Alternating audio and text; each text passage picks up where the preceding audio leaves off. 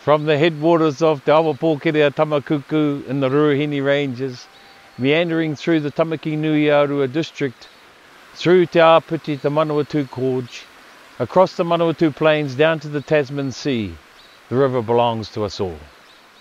It is our treasure, our tonga, and only by working collectively can we protect and care for it, ensuring it flourishes for future generations. That is why, in August 2010, representatives from around the Manawatu River catchment signed the Manawatu River Leaders Accord. These groups pledged their commitment to improving the health of the Manawatu River, ensuring our awa becomes a source of pride and mana for our community. Just under one year later, Accord members signed the first action plan.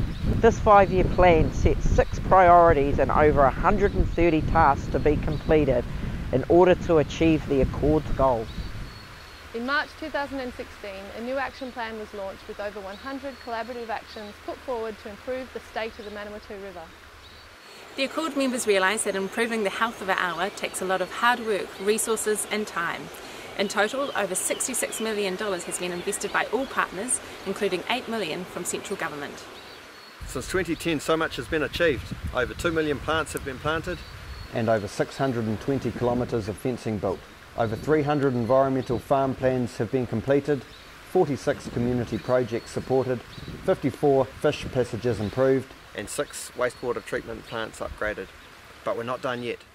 Today, all of the Accord members are working through their tasks set. If we all do our bit, together we can achieve more for the benefit of all. Every contribution, big or small, makes a difference. Join our community. Find out how you can become involved.